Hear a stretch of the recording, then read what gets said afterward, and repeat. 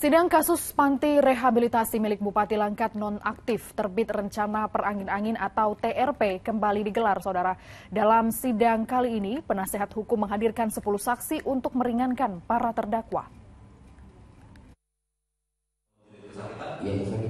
Sepuluh saksi dihadirkan oleh pihak kuasa hukum terdakwa dalam sidang di Pengadilan Negeri Stabat Kamis pagi.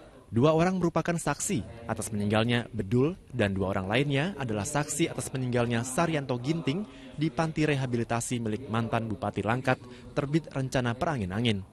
Sedangkan enam saksi lainnya dalam perkara tindak pidana perdagangan orang atau TPPO. Sidang ini juga diikuti oleh delapan terdakwa dari rutan Tanjung Gusta Medan secara virtual. DP dan HS merupakan terdakwa kasus meninggalnya Saryanto Ginting. HS dan IS terdakwa kasus meninggalnya Bedul serta JS, SP, RG, dan TS terdakwa kasus TPPO. Para saksi yang dihadirkan oleh kuasa hukum merupakan saksi yang meringankan para terdakwa. Tiga berkas, ada 170 351 terhadap empat terdakwa.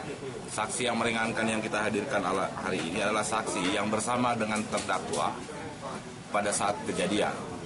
Misalnya saudara Hermanto, penyebab utama almarhum Bedul itu kan karena akibat benda tumpul yang dalam kesaksian yang uh, menguntungkan atau meringankan hari ini tahu persis siapa yang memukul.